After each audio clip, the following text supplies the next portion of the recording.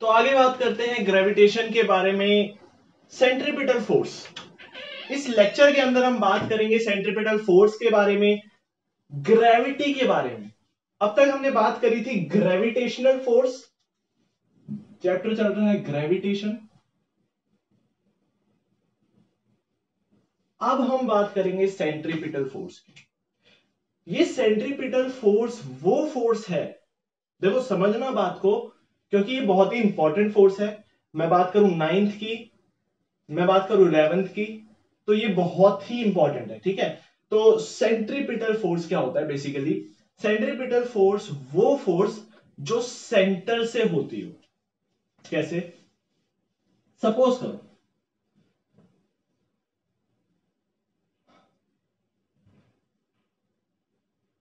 Suppose करो ये हमारा अर्थ है, ठीक है? मान लो ठीक है, ये हमारा अर्थ है, यहाँ पर हमारा मून है। अब हमें पता है कि मून हमारा हमारा चक्कर लगाता है, अर्थ का चक्कर लगाता है ना? रोटेट करता है अर्थ के अराउंड अब वो रोटेट कैसे करता है? सबसे बड़ी चीज़ यहाँ पे आती है कि ये जो मून है मून के पास इनर्शिया होगा। क्यों? क्योंकि ये एक ऑब्जेक्ट है अपने आप में। जैसे कि मैं अपने आप में ऑब्जेक्ट हूँ, मेरे पास इनर्शिया होता है। बाइक वाला एग्ज़ाम्पल मैंने लास्ट मैंने फोर्स वाले चैप्टर के अंदर दिया था क्या? कि अगर आगे वाला बंदा एकदम से एक्सेलरेशन देता है तो पीछे वाला बंदा जो बैठा होता है, वो पीछे की तरफ़ बेंड हो जाता है। क्यों? क्योंकि वो अपनी ओरिजिनल पोजीशन पे रहना चाहता है, लेकिन बाइक के चलने की वजह से वो आगे बढ़ जाता है, जिसकी वजह से वो लीन बैकवर्ड शो करने लग जाता है। और ऐसे ही बाइक के रुकने पे वो आगे की तरफ़ हो जाता है। क्यों? क्योंकि वो मोशन में रहना चाहता है। ठीक है? यहाँ पर और एक मैंने बताया था डायरेक्शन वाला। यहाँ पर डायरेक्शन वाला कंसेप्ट लगना चाहिए था। डायरेक्शन वाला कंसेप्ट क्या था? कि अगर कोई एक ऑब्जेक्ट एक डायरेक्शन में मूव कर रहा है सपोज़ करो ये एक ऑब्जेक्ट डायरेक्शन में मूव कर रहा है तो ये अपने आप से ऐसे ऐसे ऐसे ऐसे नहीं हो सकता। इसको सीधा ही जाना पड़ेगा, इसको सीधा ही जाना पड़ेगा। ठीक है ना? इसका मतलब यहाँ पर भी वही कंसेप्ट लगेगा। क्या? मून कैसे जाएगा? सीधा जाएगा है ना? यहाँ पर ये जो मून है ऐसे जाएगा यानी कि सपोज़ करो आ, ये मून जाना कैसे चाहता है? ऐसे। लेकिन किसी वजह से ये इस तरफ़ बेंड हो जाता है। अब वो क्या होता है? That is called centripetal force अब ये क्या करता है? कुछ ना कुछ ऐसे ऐसे ऐसे ऐसे बेंड हो जाता है। वो क्यों होता है बेसिकली अब उसके बारे में हम बात करते हैं ठीक है ना? सपोज़ करो, यहाँ पर ही हमारा मून रखा हुआ है। अर्थ के कंपैरिजन में मून तो इतना ही होता है ना? चलो, यहाँ पे हमारा मून रखा हुआ है। अब होगा क्या? देखो यहाँ पे। अब होगा क्या? ये जाना तो सीधा चाहता है, लेकिन ये किसी ना किसी वजह से इधर को मुड़ जाता है। होता क्या है? यहाँ पर फोर्स अप्लाई होता है। कैसा फोर्स सेंट्रीपिटल फोर्स सेंट्रीपिटल क्या है? सेंट्रीपिटल फोर्स सेंट्री सेंट्री का मतलब होता है सेंटर की तरफ़। एक होता है सेंट्रीपिटल एक होता है सेंट्रीफ्यूगल सेंट्रीपिटल का मतलब होता है सेंटर की तरफ़ और सेंट्रीफ्यूगल का मतलब होता है सेंटर से दूर. यानी कि सपोज़ करो सेंट्रीफ्यूगल है तो ये ऐसे मूव करेगा और सेंट्रीफ्यूगल है तो ये ऐसे मूव करेगा. ठीक है? अभी इतना जान लो बस. अब देखना अब देखो जादू। क्या होगा यहाँ पे? ये मून है ये कैसे मूव करना चाहता है? ऐसे मूव करना चाहता है है ना? बिल्कुल ऐसे ही मूव करना चाहता है। क्यों? क्योंकि इसके पास इनर्शिया है। अगर ये एक डायरेक्शन में जा रहा है तो एक डायरेक्शन में जाना चाहता है ये।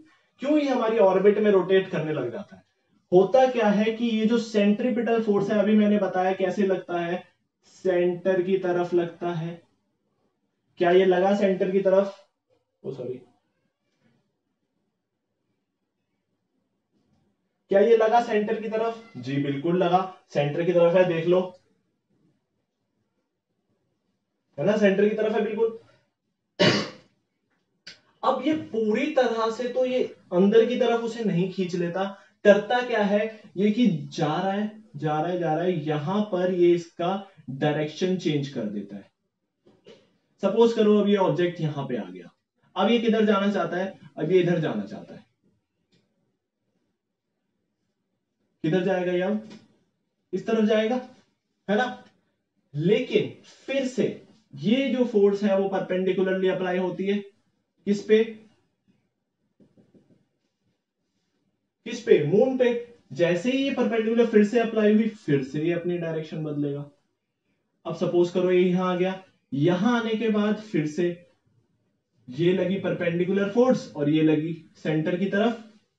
होगा ना? क्योंकि सेंट्रीपिटल फोर्स ही सेंटर की तरफ़ है और अप्लाई कैसे होती है? परपेंडिकुलरली ये बात हमेशा याद रखना कि सेंट्रीपिटल फोर्स सेंटर की तरफ़ परपेंडिकुलरली अप्लाई होती है।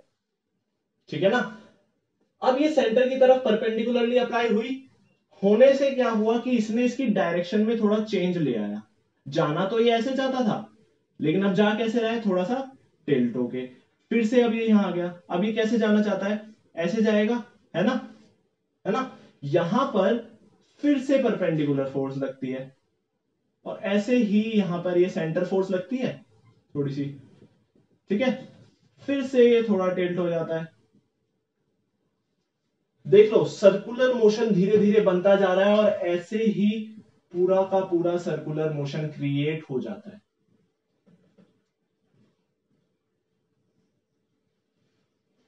यानी कि यहाँ पे भी आएगा, यहाँ पे भी आएगा और यहाँ पर भी आएगा तो भी परपेंडिकुलरली फोर्स अप्लाई होगी हर तरफ़ से। कैसे? परपेंडिकुलरली अप्लाई होगी। जिसकी वजह से क्या होगा? बेसिकली ये सेंटर की तरफ़ जाना तो चाहता है, लेकिन पूरी तरह से ये फोर्स सेंटर की तरफ़ उसे नहीं भेजकर उसकी थोड़ी सी डायरेक्शन में चेंज ले आता है, जिसकी वजह से वो सर्कुलर मोशन में आ जाता है। इसका सबसे अच्छा एग्ज़ाम्पल देखो। एक काम करना, एक रोप लेना। रोप मतलब छोटा सा एक धागा लेना, उसके साथ एक पत्थर को बांधना और ऐसे उसे रोटेट करना। तुम रोटेट करोगे तो तुम अगर देखोगे तो उसका जो फोर्स होगा वो सेंटर की तरफ़ आएगा। वो आना सेंटर की तरफ़ चाहता है, लेकिन due to perpendicular centripetal force पूरी तरह से ना आकर वो उसकी डायरेक्शन में चेंज करता है, उसे ऐसे ऐसे करके घुमाना। ठीक है ना? तो that is called Newton ring experiment उसके बारे में इतना नहीं पढ़ना। सेंट्रीपिटल फोर्स समझ आया। सेंट्रीपिटल फोर्स वो फोर्स जो सेंटर की तरफ़ अप्लाई हो। Centripetal force is the force which is applied towards the centre. ये समझ आया? कैसे सेंटर की तरफ़ अप्लाई होगा? अभी मैंने बताया कैसे? हर तरफ़ से परपेंडिकुलरली। होगा ना? यानी कि टुवर्ड्स द सेंटर परपेंडिकुलरली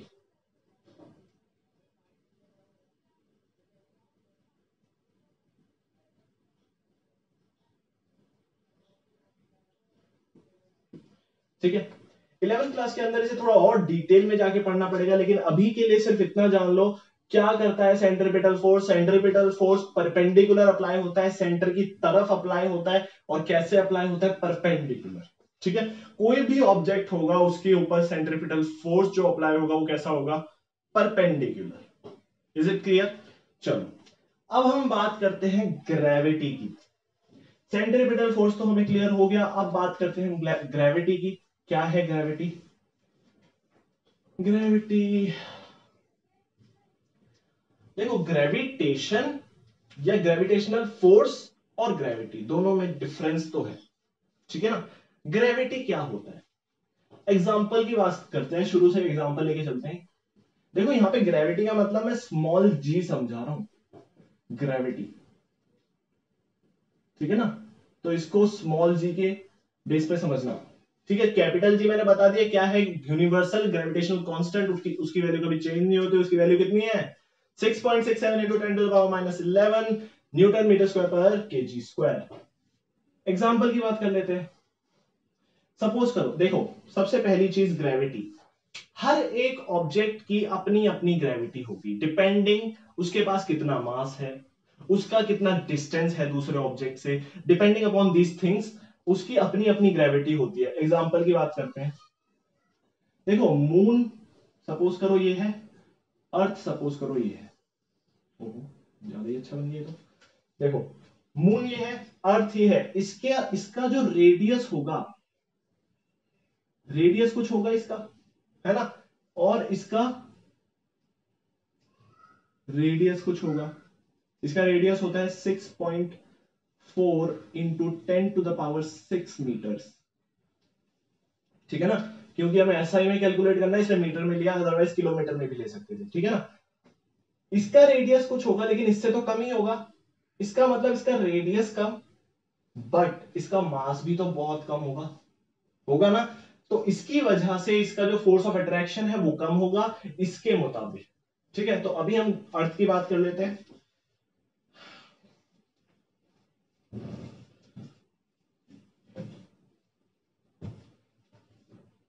तो अभी तो इसे भूल जाओ। एग्ज़ाम्पल की बात करते हैं। सपोज़ करो यहाँ पे एक मैन खड़ा है। इसका नाम है चंगू। चंगू छोड़ो। मिंटू। अब ये मिंटू क्या करता है? ये कितने फोर्स के साथ अट्रैक्ट हो रहा है अर्थ की तरफ़? हमें ये निकालना है इसके देखो, दो ऑब्जेक्ट समझ लो। एक तो अर्थ हो गया पूरा और एक ये मिंटू हो गया, है ना? तो एक तो फोर्स ऑफ़ मिंटू आ जाएगा, एक फोर्स ऑफ़ अर्थ आ जाएगा। और इस दोनों को अगर मुझे बताना है तो मैं फोर्स ऑफ़ ग्रेविटेशन से बता सकता हूँ, जो मैंने लास्ट क्लास में बताया था। उसमें क्या था लास्ट लेक्चर के अंदर? G M sorry G M one M two upon R D square था ना ये? डी स्क्वायर क्या है? डिस्टेंस चलो डिस्टेंस देख लेते हैं इसका। सेंटर लिया। सेंट्रल फोर्स है ग्रेविटेशन है ना? सेंट्रल फोर्स है। यहाँ से लेके यहाँ तक का मैंने डिस्टेंस नापा। देखो, अब ये डिस्टेंस इन कंपैरिजन टू इसके सेंटर सपोज़ करो इसका सेंटर यहाँ कहीं है।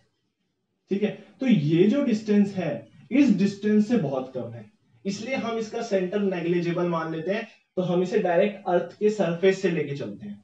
ठीक है ना? At the surface of earth Mintu is standing on surface of earth तो हमें मिंटू का सेंटर लेने की ज़रूरत नहीं है। ठीक है? हमें सिर्फ़ अर्थ का सेंटर चाहिए। अर्थ का सेंटर क्या होता है? मतलब यहाँ से लेके यहाँ तक का रेडियस कितना हो गया इसका?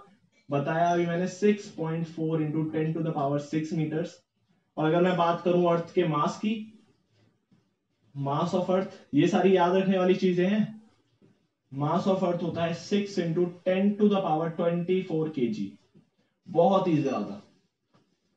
इन कंपेरिजन टू मिनटू देखो, अब बात करते हैं F G G M one Mintu M M Mintu upon D square क्या हमें m1 की वैल्यू पता है? M1 क्या है? कुछ भी ले सकते हो m1 m1 तुम इसे भी ले सकते हो m1 तुम इसे भी ले सकते हो, बात सेम ही है। मैंने m1 इसे ले लिया है अर्थ को। अर्थ का m1 हमें पता है, ये रहा। डी स्क्वायर डिस्टेंस इसका स्क्वायर कर देंगे, ये हो जाएगा। G की वैल्यू हमें पता है कितनी होती है? Six G is equal to six point six seven into ten to the power minus eleven पता है ना हमें? अब सपोज़ करो कि ये जो पूरी वैल्यू है, थोड़ा सा गौर देना इस पे, क्या कि ये जो पूरी वैल्यू है मिनटू को छोड़ दो। G M one upon D square जो वैल्यू है, क्या वो अर्थ के ऊपर सेम रहेगी? ध्यान देना इस बात को। क्या अगर यहाँ पे मिंटू की बजाय चंगू आ जाए पवन आ जाए, कुछ कोई भी आ जाए एनीथिंग कोई कार आ जाए, क्या उसके लिए ये जो वैल्यू है, क्या वो सेम रहेगी? बिल्कुल सेम रहेगी। क्या उसका मास चेंज कर देगी? नहीं करेगी। क्या उसका डिस्टेंस चेंज कर देगी? नहीं करेगी, क्योंकि हमने ऑब्जेक्ट का सेंटर नहीं माना। हमने सरफेस ऑफ़ अर्थ तक इसका रेडियस मेजर कर लिया है तो हमें इसका सेंटर लेने की ज़रूरत नहीं है, क्योंकि इसका सेंटर नेग्लिजिबल है इनकम देखो ना सपोज़ करो ये बंदा है यहाँ पे, ठीक है? इसका सेंटर यहाँ से यहाँ तक होगा, ठीक है ना? तो इन कंपैरिजन टू दिस ये सेंटर बहुत ज़्यादा कम है, यानी कि ये डिस्टेंस बहुत कम है। तो इस डिस्टेंस सपोज़ करो कि ये 24 है तो ये point point point point two six है। तो क्या हमें इसे लेने की ज़रूरत है? क्यों हम अपनी कैलकुलेशंस को मुश्किल करें, है ना? तो इस चीज़ को लेने की ज़रूरत नहीं है। सिर्फ़ हम यहाँ से यहाँ तक का इसका क्या ले लेंगे? रेडियस ले लेंगे, और रेडियस ऑफ़ अर्थ हमेशा सेम रहेगा। रेडियस मास ऑफ़ अर्थ हमेशा सेम रहेगा, हमें पता है मास हमारा चेंज नहीं हो सकता। और ग्रेविटेशन कांस्टेंट हमेशा सेम रहता ही है। हमें पता है यूनिवर्सल ग्रेविटेशनल कांस्टेंट की value 6.67 point six seven ten power minus eleven मैं बार बार इसलिए बोल रहा हूँ ताकि आपको याद हो जाए ये चीज़। अब देखना। इस चीज़ को क्या ये चीज़ कांस्टेंट रहेगी अर्थ के लिए? कांस्टेंट फॉर अर्थ होगा ना ऐसा? अर्थ के लिए तो कांस्टेंट रहेगी, लेकिन अदर प्लैनेट्स के लिए उसके लिए अपना m1 होगा, उसके लिए अपना मास होगा, यानी कि मून का अपना मास मून का अपना रेडियस है ना? तो उसके लिए ये ये वैल्यू चेंज हो जाएगी, लेकिन अर्थ के लिए वैल्यू सेम रहेगी। तो हमें तो निकालना ही नहीं है, हमें तो अर्थ का निकालना है सिर्फ़। हमें तो ग्रेविटी निकालनी है कि अर्थ कितनी ग्रेविटेशनल फोर्स के साथ उसे खींचता है किसी भी ऑब्जेक्ट को, है ना? तो इस चीज़ को हमने क्या मान लिया? इस चीज़ को हमने मान लिया जी और अगर इस सब की वैल्यू मैं पुट कर दूँ 6.67 point six seven into ten to the power minus eleven into six into ten to the power twenty four upon six point four into ten to the power six का whole square अगर इस चीज़ को मैं solve करूँ तो मेरे पास approximately value कितनी आती है? 9.8 ये बात को बहुत ध्यान से समझ लो। ये जो 9.8 आया, ये बहुत ही अच्छा कंसेप्ट है, बहुत ही इंटरेस्टिंग है, हर जगह यूज़ होने वाला है अभी। ये चीज़ जो वैल्यू आई है, ये किससे आई है? G M one upon D square that is all constant for earth है ना? तो ये अर्थ का क्या आ गया? ग्रेविटेशनल फोर्स यानी कि इतनी ग्रेविटी के साथ वो अपनी तरफ़ उसे खींच लेगा। यानी कि ये जो है मिंटू अर्थ की तरफ़ कितनी फोर्स से खींचेगा? 9.8 अब यूनिट की बात कर लेते हैं। ग्रेविटेशन फोर्स की। अच्छा इस ग्रेविटी को एक्सलरेशन ड्यू टू ग्रेविटी भी कहा जाता है। अब एक्सेलरेशन ड्यू टू ग्रेविटी क्यों कहा जाता है?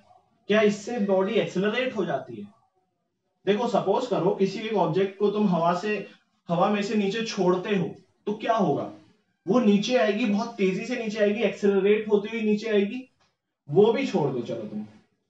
मुझे तुम बताओ, सबसे आसान तरीके से मैं इसकी, इसका मतलब समझाने की कोशिश कर रहा हूँ, इसकी यूनिट निकाल रहे हैं हम यहाँ पे, कैसे निकालेंगे?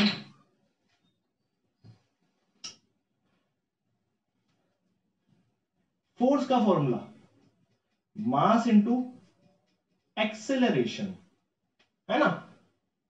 अगर मैं बात करूँ ये F G F G is also a force चलो।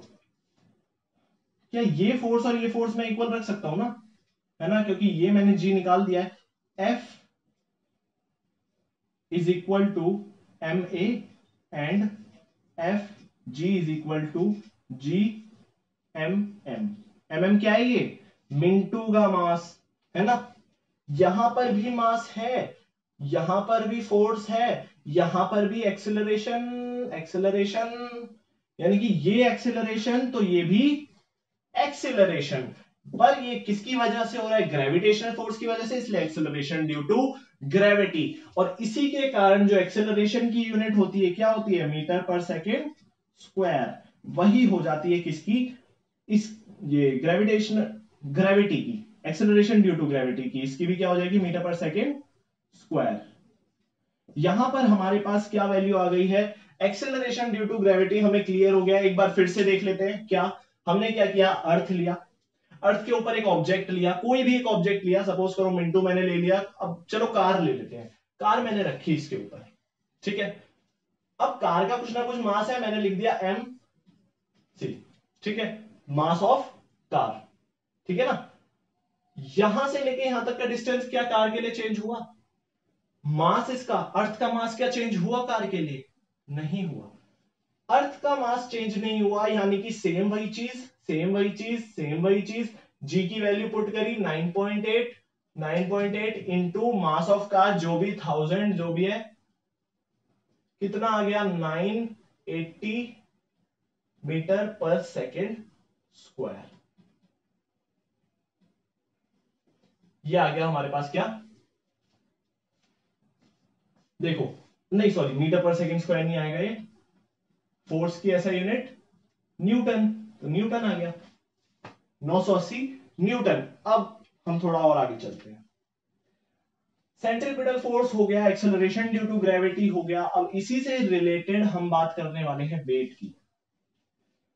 देखो वेट एक बहुत ही इंटरेस्टिंग टॉपिक है, और मास और वेट तो कुछ ज़्यादा ही। क्यों? क्योंकि मास और वेट कई लोग कह देते हैं कि भाई सेम होता है।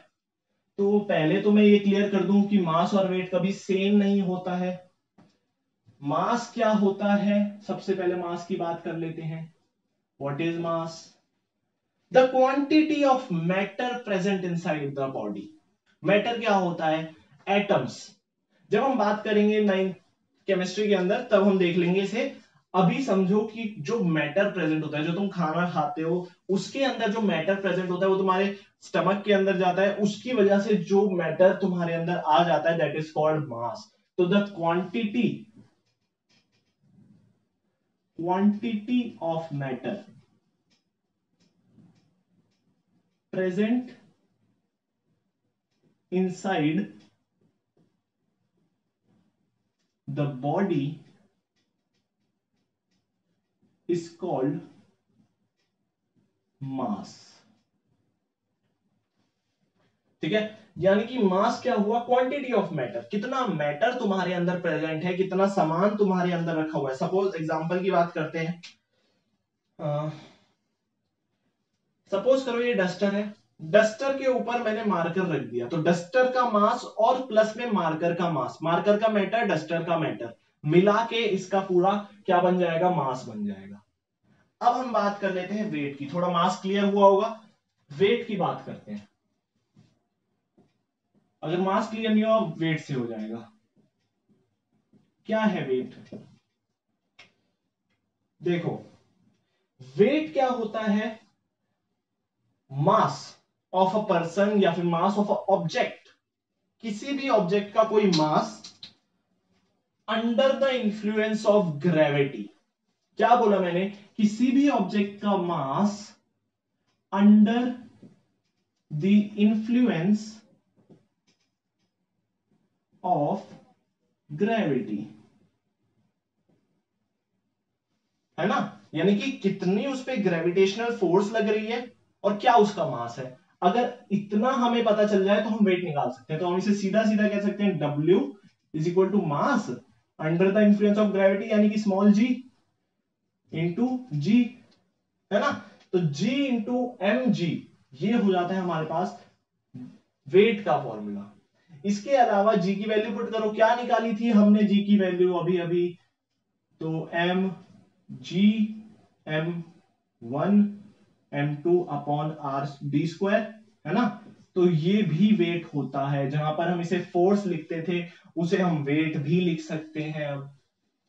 अच्छा अब इसकी यूनिट निकालनी है। क्या होगी यूनिट जो फोर्स की यूनिट होगी, वही इसकी यूनिट होगी। इसका मतलब S I unit of weight भाई केजी मत लिखा ना। वेट क्या होगी? न्यूटन है ना? एक चीज़ मैं अब यहाँ पे छोटी सी एक बात बताने वाला हूँ। न्यूटन कैपिटल में अगर लिखना है तो कैपिटल एम लिखो मतलब एक सिंबल में लिखना है तो कैपिटल एम लिखो। बट अगर तुम्हें पूरा लिखना है ना तो उसे स्मॉल करके लिखा करो, न्यूटन। अगर तुम इस वर्ड को कैपिटल कर दोगे ना तो ये थोड़ा सा गलत हो जाएगा। ठीक है? चलो, इतना समझ आ गया। ऐसा यूनिट क्या होती है? वेट की, न्यूटन। मास की ऐसा यूनिट तो हम सबको पता है। क्या होती है? एसआई यूनिट के जी है ना? केजी में नापा जाता है मास। कोई दिक्कत है इसके अंदर? अच्छा। अब हम बात करते हैं वेट ऑन डिफरेंट ऑब्जेक्ट्स देखो अर्थ के ऊपर हमारा वेट क्या होगा? इसको इससे मल्टीप्लाई मैं कर दू, है ना? लेकिन मून के लिए क्या ये वैल्यू हमारी होगी? क्या नाम है? 9.8 मीटर पर सेकंड की अगर मीटर पर सेकंड स्क्वायर की अगर मैं बात करूँ तो ये कहाँ के लिए है? अर्थ के लिए। लेकिन क्या ये कंसिडर होगा मून के लिए? नहीं होगा। क्यों? क्योंकि उसके पास मास अपना डिफरेंट है, उसके पास अपना रेडियस डिफरेंट है। जी तो चलो सेम है, लेकिन उसका मास तो डिफरेंट है रेडियस भी डिफरेंट है। जिसके कारण ये चेंज हुआ तो पूरी पूरी जी की वैल्यू चेंज होगी। अगर जी चेंज हो गया तो वेट चेंज हो जाएगा। तो ये बोला जाता है कि जो जी है मून के ऊपर, मैं पूरा कैलकुलेशन करके नहीं दिखाऊँगा जी का। मून पर, लेकिन मून का जो जी होता है, वो होता है one by six of the g on earth है ना? जी ऑफ़ मून क्या होता है? यानी कि acceleration due to gravity on moon अगर ग्रेविटी अच्छा मून के ऊपर कोई एक ऑब्जेक्ट है सपोज़ करो एक बंदा खड़ा हुआ है उसके ऊपर तो उसको जो मून है, वो कितनी तेज़ी से खींचेगा? One by six of gravitation of earth suppose करो यहाँ पर एक आदमी का मास वेट है सिक्सटी के जी सपोज़ करो उसका मैटर है टेन है हंड्रेड मान लो, ठीक है? उसका मैटर कितना मास कितना है? हंड्रेड के जी इंटू ग्रेविटी हम लगाएँगे कितना? नाइन पॉइंट एट ये अर्थ के ऊपर मैं बात कर रहा हूँ। वेट ऑन अर्थ कितना आ जाएगा? 98 आ जाएगा? 98 न्यूटन।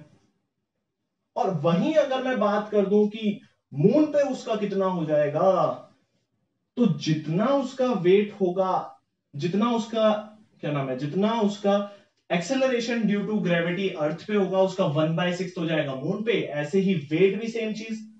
वेट अगर 98 न्यूटन है या वेट कुछ है तो उसका मून पे हो जाएगा one by six of the weight of earth ठीक है ना? क्योंकि मास तो सेम रहेगा ना। देखो, W is directly proportional to mass W is directly proportional to gravitation ठीक है ना? यहाँ पे मास कांस्टेंट रहेगा एक ऑब्जेक्ट का पर्टिकुलर ऑब्जेक्ट का। सपोज़ करो इसकी मैं बात करूँ तो इसका मास रहेगा सेम कहाँ पर? अर्थ पे भी अर्थ पे भी और मून पे भी। ठीक है ना? लेकिन ग्रेविटी की वैल्यू चेंज होती रहेगी। ग्रेविटी की वैल्यू कैसे चेंज होगी? मैंने अभी बताया, इन दोनों की वजह से ग्रेविटी की वैल्यू मून पे चेंज हो जाएगी। और जैसे ही ग्रेविटी की वैल्यू चेंज हुई तो कितनी होती है? वन बाय सिक्स अच्छा वन बाय सिक्स हो जाती किसकी? अर्थ की। है ना? तो यहाँ पर ये डायरेक्टली प्रोपोर्शनल का साइन कुछ दिखा रहा है। अब तुम मेरे को बताओ कि अगर यहाँ पर वन बाय सिक्स डिक्रीज हो गया है तो यहाँ पर कितना होगा? वन बाय सिक्स ही डिक्रीज होगा ना? क्योंकि डायरेक्टली प्रोपोर्शनल है। जितना इधर कम होगा, उतना इधर भी कम होगा। है ना? इधर टू से मल्टीप्लाई करते तो इधर से भी टू मल्टीप्लाई हो जाता। ऑब्वियसली बात है तो one by six of the weight of earth moon का वेट अब यहाँ से कैलकुलेट कर लो। Weight of moon is equal to one by six of weight of earth ये हमारे पास एक फॉर्मूला आ गया, इसको नोट कर लो। क्या? कि मून के ऊपर वेट कितना हो जाएगा? One by six of the weight of earth earth का वेट पुट करके देख लो। One by six into ninety eight जो भी सॉल्व करोगे वो इसका आंसर हो जाएगा मून पे। ठीक है ना? अब यहाँ पर हमारा कैलकुलेशन वाला पार्ट खत्म होता है। अब हम बात करेंगे यहाँ पर मास और वेट में डिफरेंस क्या होता है। मास और वेट में डिफरेंस के बाद बात करेंगे फ्री बॉडी डायग्राम की, जो कि बहुत ही इंपॉर्टेंट है और बहुत ही आसान सी चीज़ है। फ्री बॉडी क्या है? Free fall basically free fall free fall छोड़ दिया मैंने free fall freely falling body उसके बारे में भी हम बात करेंगे, फिर हम बात करेंगे थ्रस्ट और प्रेशर की, और लास्ट में हम बात कर लेंगे बायोन्सी और आर्किमिडीज प्रिंसिपल